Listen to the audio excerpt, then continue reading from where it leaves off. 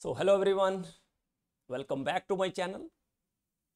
Today we have a question from chemical kinetics and question is a reaction is first order with respect to A and second order with respect to B. So write the differential rate equation. So you know first order means A raised to power 1 and second order means B raised to power 2 so in rate law, we will write A raised to power 1, concentration of A raised to power 1. So that's why we have here is solution that differential rate equation means dx by dt. That is change in concentration with respect to time. That is equal to rate constant. What is k? Rate constant. And then concentration of a into concentration of B, concentration of A raised to power 1 because it is first order in A and B raised to power 2 because second order in B. So this is the solution of the first question. Write the differential rate equation.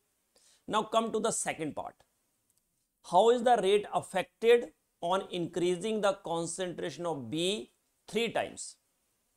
So see, rate of reaction, initial rate of reaction that is equal to K into A raised to power 1, B raised to power 2.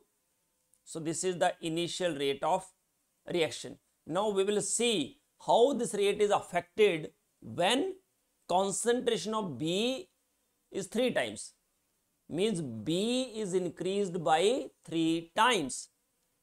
So that means b becomes 3b 3 times mean 3 multiplied by b. So now k rate constant that remains same.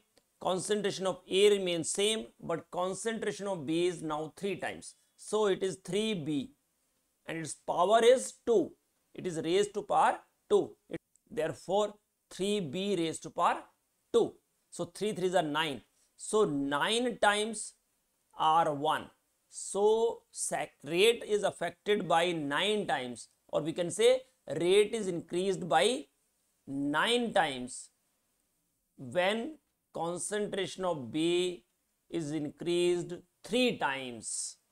If concentration of B is increased 3 times, rate of reaction is increased by 9 times.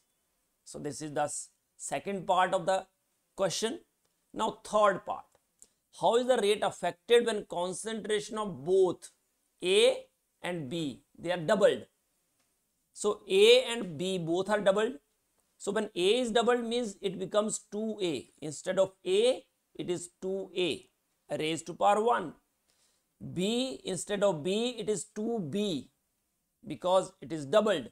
So 2B raised to power 2. So 2 to the 4 to the 8 so it is 8 times R1. That means rate is increased by 8 times when concentrations of both A and B are doubled.